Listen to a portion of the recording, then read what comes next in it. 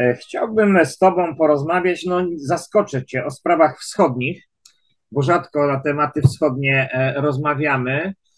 E, podobno, podobno tak wieść gminna niesie, pojawili się jacyś nowi kandydaci na prezydentów Rosji i Ukrainy, czyli mm, czy to oznacza, że pozycja Zełeńskiego i Putina jest zagrożona, czy jest to jakaś, jakiś nadszedł czas na naturalną wymianę, e, powiedzmy, klasy politycznej w tych krajach? W czasach e, tak burzliwych jak obecne, żaden ze sprawujących władzę nie może być pewien, kiedy ta jego kadencja może przedterminowo się zakończyć. I musimy brać pod uwagę ten element niedookreśloności politycznej w jednym i w drugim z tych krajów, które omawiamy.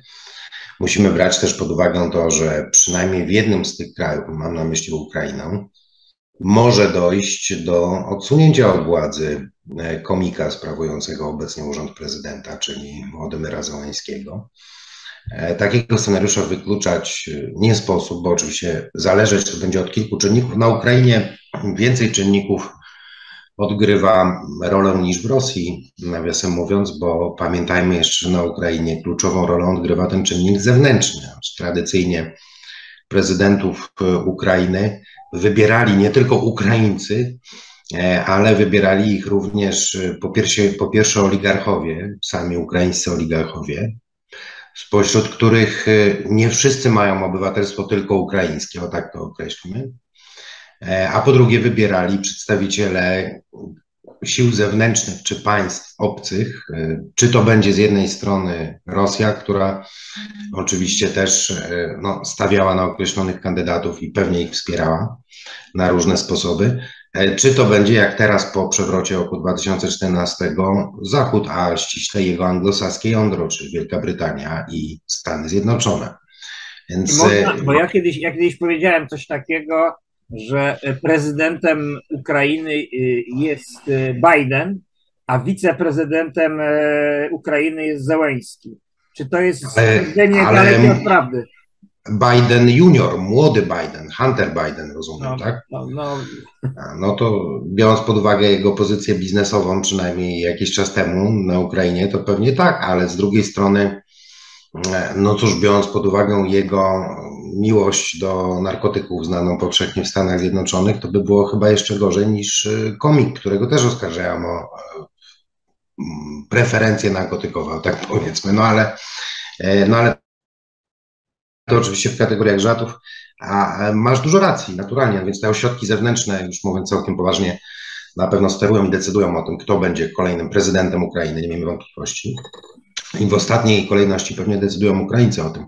E, I w tym kontekście trzeba umiejscowiać kandydaturę, e, która się ostatnio pojawiła, mianowicie e, udzielając wywiadu takiemu znanemu ukraińskiemu dziennikarzowi Dmitriowi czy Dmytro Gordonowi, e, swoją potencjalną kandydaturą zapowiedział, uwaga, najinteligentniejszy z całą pewnością, najbardziej błyskotliwy z ludzi otoczenia Zełańskiego, obecnego prezydenta, a mianowicie Aleksiej Arestowicz. Aleksiej Arestowicz, o którym ja pisałem dość obszerny tekst, jego sylwetkę na łamach e, Myśli Polskiej, która ukazała się również na portalu Myśl Polska Info e, i który, no cóż, po pierwsze, jak bardzo wielu, wielu innych, ten sam młody Zełański nie jest ani trochę Ukraińcem w sensie etnicznym, pochodzenia etnicznego.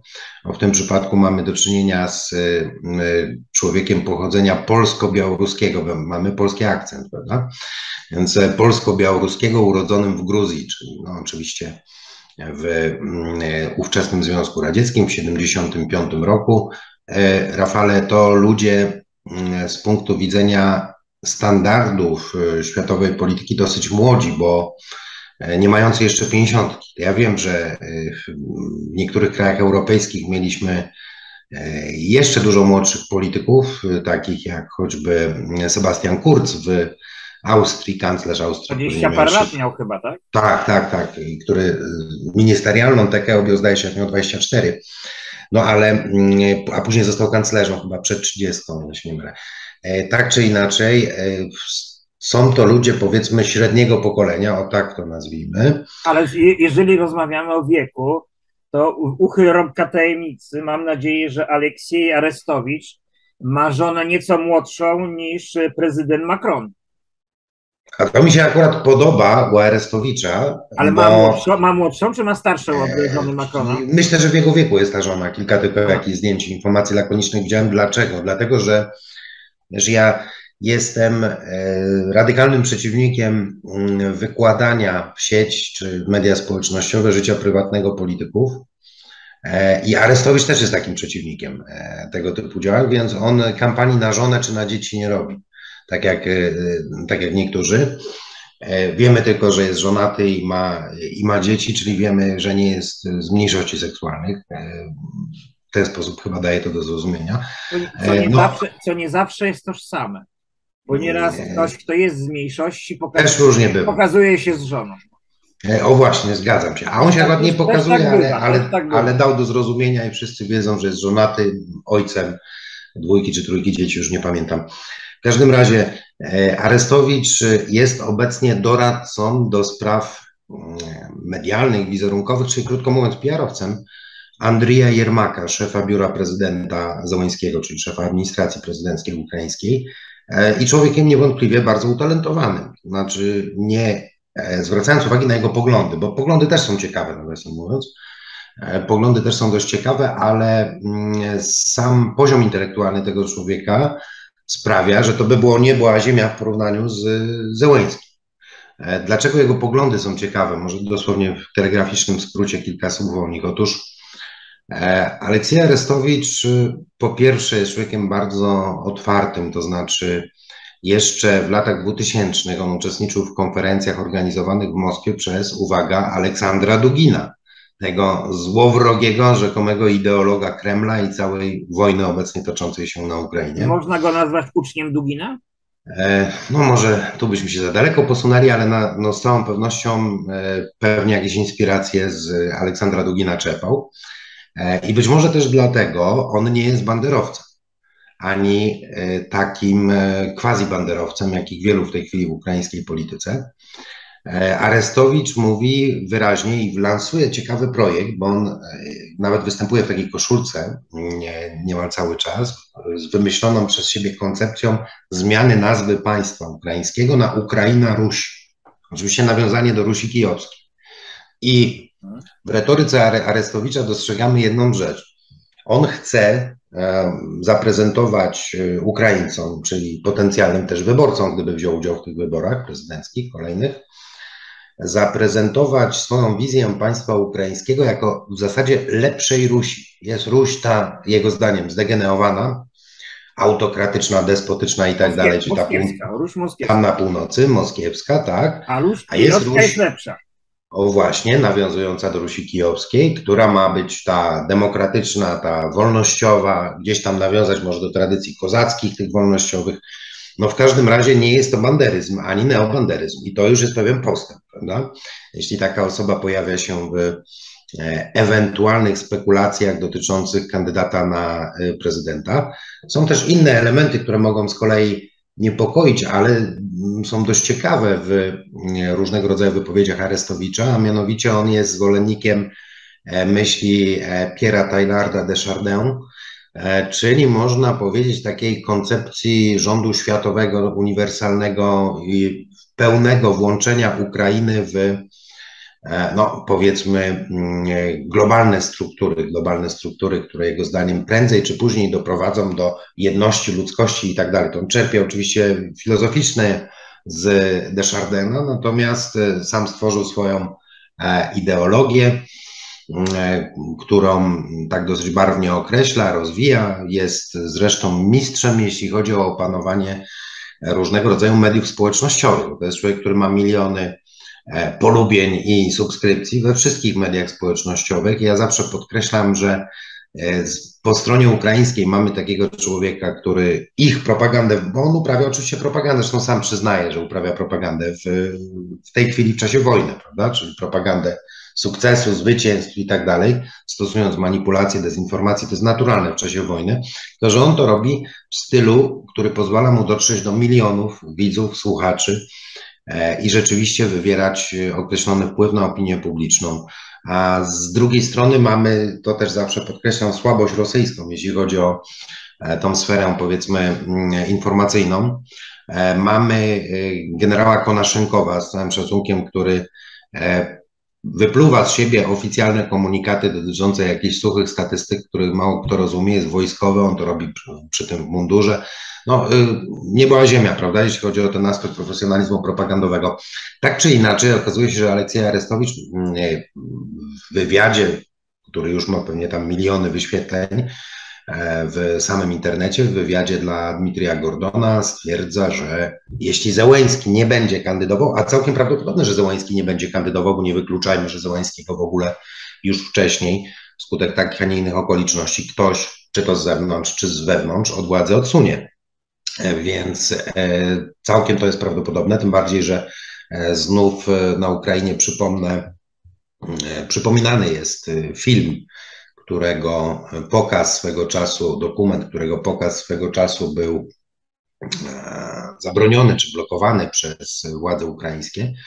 E, mówię tutaj mm, o filmie, zresztą niebawem, mam nadzieję, się ukaże też w tłumaczeniu na język polski, zrobionym przez ukraińskich dziennikarzy śledczych pod tytułem Offshore 95 gdzie mowa jest o tych e, setkach milionów, przepraszam, miliardów, może jeszcze nie, e, dolarów zgromadzonych przez Zełańskiego i powiązane z nim spółki offshore'owe na kanwie słynnych Panama Papers. Więc e, na Ukrainie się o tym mówi, już ten wizerunek człowieka, który tam niezłomnie i odważnie własną piesią bronił Kijowa przed rosyjską inwazją, zaczyna się powoli kruszyć i on się będzie kruszył w miarę postępujących problemów społecznych. Jednak jeśli na Ukrainie ktoś zostanie, a pewnie ktoś zostanie, prawda, nie wszyscy wyjadą, to będą oni przeżywali ogromne problemy społeczne, katastrofę gospodarczą, e, wynikającą z, bardzo, z bardzo wielu aspektów, przede wszystkim oczywiście z wojny, ale również z korupcji e, przeogromnej w tym kraju. Więc Arestowicz może być czarnym koniem, zwracajmy na niego uwagę.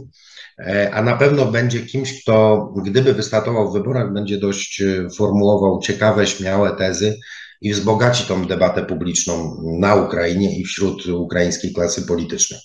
No i kto jest odpowiedzią na e, Arestowicza, w cudzysłowie odpowiedzią, bo myślę, że to nie było koordynowane, rzecz jasna, po stronie rosyjskiej. W Rosji mamy w 2024, w 2024 roku wybory prezydenckie, przypominam wszystkim w których może wziąć udział Władimir Putin. Może, acz nie musi. E, niektórzy mówią o jego słabym zdrowiu, oczywiście wszyscy mm, e, z drugiej strony słyszymy mniej lub bardziej wiarygodne informacje, że o tym, że on jest zdrowy znakomitego wręcz końskiego. No ale tego nie wiemy. Też się może dużo globalnie zmienić, też się może zmienić wszystko w związku z prowadzoną obecnie wojną. I oczywiście na ten moment to Władimir Putin jest gwarantem mm, jakiejś formy stabilizacji bezpieczeństwa, ale też takiej zdecydowanej, suwerenistycznej polityki Rosji przez nią prowadzonej. E, no ale cóż, no mogą nastąpić wstrząsy też ekonomiczne. Przypomnę, że ekonomiści twierdzą, że w Rosji rok 2023 będzie najcięższy, podobnie jak u nas. Podobno na Zachodzie będzie znacznie cięższy niż w Rosji. Mówię o konsekwencjach kryzysu nadciągającego, właściwie już trwającego. No ale tak czy inaczej, e, pewnie pojawi się zapotrzebowanie wśród wyborców rosyjskich na e, jakąś alternatywę, czy zainteresowanie różnego rodzaju alternatywami. E, I teraz uwaga, sądzę, że w Rosji, bo mówiłem tutaj o Ukrainie, w Rosji wpływ na wybór prezydenta też mają nie tylko Rosjanie, czyli nie tylko wyborcy, którzy idą do urn, ale również coś, co istnieje w każdym mocarstwie. Istnieje w Stanach Zjednoczonych, istnieje w Chinach, istnieje w, właśnie w Rosji, a mianowicie coś, co określamy akurat w odniesieniu do Ameryki mianem Deep State. Rosyjski Deep State jest oczywiście całkiem inny niż amerykański. Rosyjski Deep State to są głównie powiedzmy częściowo resorty siłowe, plus oligarchowie, ci oligarchowie, którzy są politycznie lojalni wobec y, Kremla. Więc ja myślę, że tam też zapada, zapadają pewnego rodzaju uzgodnienia i te, w wyniku tych uzgodnień będzie również y, podjęta decyzja co do tego, kto będzie i czy Władimir Putin będzie kandydatem na kolejną kadencję prezydencką. Ja szczerze powiedziawszy myślę, że tak. Myślę, że on będzie sprawował władzę w Rosji do roku 2030. E, jeśli pozwoli mu na to zdrowie i inne okoliczności, ale nie oznacza to, że nie pojawią się gdzieś na horyzoncie inni ciekawi kandydaci, którzy być może e, będą trenowali przed rokiem 2030. To znaczy potraktują ten swój start jako e, pierwsze wprawki przed wyborami w roku 2030, kiedy Władimir Putin już na polityczną emeryturę odejść po prostu będzie musiał zgodnie z przepisami konstytucji rosyjskiej, chyba że ona ulegnie zmianie. No ale też będzie miał już swoje lata. Podkreślmy, Władimir Putin, rocznik 1952, więc będzie miał 78 lat. Praktyka oczywiście amerykańska pokazuje, że to może nikomu nie przeszkadza Joe Biden. Przeszkadza. No tak, a poza tym. E, ale to no może, cóż, wtedy, może wtedy się przeniesie do Ameryki. Wystajtruje nie, nie, nie, możemy, nie możemy, Rafale, uprawiać w Stanach, to jest modne określenie, ja wiem, e, używają tego poprawnego politycznie określenia ageism które polega na dyskryminacji kogoś z uwagi na wiek. No, Amerykanie, cóż, nie chodzi tutaj o wiek, bardziej o stan zdrowia Bidena, prawda, którego wystawiam na pośmiewisko w tej chwili, czyli oni tego biednego człowieka krzywdzą tak naprawdę, biorąc pod uwagę jego stan zdrowia i każąc się publicznie pokazywać, sprawować urząd prezydenta Stanów Zjednoczonych. E, mniejsza o to, natomiast ja nie uprawiam ageizmu, podkreślam, e, szanowni słuchacze, widzowie i Rafale, bo Zawsze przywołuję taki przykład 92-letniego Mahatira bin Mohammada, premiera Indonezji, który właśnie w wieku 92 lat objął po raz kolejny funkcję i całkiem nieźle mu szło. E, był sprawny intelektualnie, no pewnie fizycznie już nie do końca, ale intelektualnie wyjątkowo sprawny, więc e, wszystko zależy od indywidualnych predyspozycji i stanu zdrowia, rzecz jasna. Życzmy każdemu zdrowia jak najlepszego, no ale widzimy, że Joe Biden e, tego dobrego zdrowia już nie ma. E, więc y, y, Władimir Putin z kolei może je zachować. Tak czy inaczej, Adrem, e, otóż tam też się pojawia kandydat e, potencjalny z pokolenia tego samego, co Aleksieja Arestowicz na Ukrainie, a mianowicie mm, urodzony w roku 1974 Zachar Prilepin. Kto to jest Zachar Prilepin? Ja myślę, że części z naszych widzów wyjaśniać nie trzeba. E, gorąco polecam jego książki, które ukazywały się w Polsce, bo jest to pisarz. Jest to jeden z najbardziej znanych rosyjskich pisarzy, który początkowo terminował, można powiedzieć, bardzo bogaty, przebogaty życiorys, bo mm, zaczynał jako funkcjonariusz OMON-u w ogóle, pochodzi z rosyjskiej prowincji, był funkcjonariuszem osławionego OMON-u, później był e, działaczem e, partii narodowo-bolszewickiej Edwarda Limonowa, innego skandalisty pisarza, no a później zaczął interesować się mm, Donbasem. W międzyczasie wydał kilka bardzo znanych powieści, m.in. Sankija, m.in. powieść y, bardzo ciekawa na temat y, wojny w Czeczeni, w której sam brał udział, drugiej wojny w Czeczeni, taka oparta też na jego wspomnieniach częściowo. Te książki się ukazały, podkreślam, w języku polskim, notabene wydawało je, nie będziemy tu uprawiać reklamy, ale jedno z takich większych polskich wydawnictw, którego E, szefowa, po tym jak rozpoczęła się wojna na Ukrainie, stwierdziła, że oni już książek Prilepina wydawać nie będą, bo Prilepin mm, stanął po stronie, jednoznacznie po stronie rosyjsko-donbaskiej w toczącym się obecnie konflikcie, w związku z tym trafiał nas na indeks, no ale nic nie szkodzi, są mniejsze wydawnictwa w Polsce, które jego kolejne powieści wydają. Gorąco lekturę książek Zachara Prilepina polecam, utalentowany z całą pewnością pisarz z tej e, współczesnej fali pisarzy rosyjskich ośmielę, ośmielę się stwierdzić, że przynajmniej moim subiektywnym zdaniem najlepszy. Miałem z nim okazję rozmawiać i przeprowadzać e, wywiad nie tak dawno, e, również dla myśli polskiej. Mm, no i cóż, no jest to też człowiek wyjątkowo mm, inteligentny, człowiek całkowicie spoza klasy politycznej, tej aktualnie funkcjonującej w Rosji klasy politycznej, odrobinę zasiedziałej. No, wprawdzie Władimir Żejnowski, jak wiemy, zmarł, ale to był też przykład takiego mastodonta polityki, tego, że polityka zastygła w stanie e, z lat 90., w składzie personalnym z lat 90. Mamy e, z drugiej strony Gennadija Ziuganowa, czyli komunistów, Komunistyczną Partię Federacji Rosyjskiej, gdzie e, jeden i ten sam człowiek od lat 90., od połowy lat 90. sprawuje władzę w E, partii. Mamy mm, Siergieja Mironowa, szefa partii Sprawiedliwa Rosja, notabene współpracującego swego czasu z Prilepinem, który też jest zasiedziałym elementem tej polityki i być może takim przewietrzeniem tej polityki byłby Zachar Prilepin. Zachar Prilepin założył swój własny ruch społeczny, który nazwał ruchem, ruchem na rzecz czy za prawdę. Ten ruch ma charakter taki patriotyczno-socjalny, tak to nazwijmy, z bardzo mocnymi akcentami e, dotyczącymi obrony szeroko rozumianego, cywilizacyjnie rozumianego świata rosyjskiego.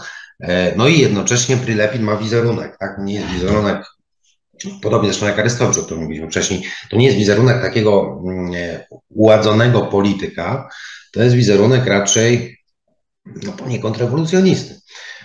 W kilku różnych jego mm, tekstach dostrzegamy to, że on jest otwarty na przykład na nowe gatunki muzyczne, bo pisze teksty jako literat, e, które później śpiewają czy deklamują raperzy rosyjscy. I razem z tymi raperami rosyjskimi kręci teledyski. To oni są oczywiście dużo młodsi od niego, tak, to jeszcze inne pokolenie, no ale on się nie boi tego, żeby iść jakby e, w tą kulturę masową, tą kulturę współczesną rosyjską mm, masową, być częścią tej kultury masowej, notabene jest człowiekiem renesansu, bo jednocześnie jest e, dyrektorem, kierownikiem właściwie artystycznym jednego ze znanych e, moskiewskich teatrów.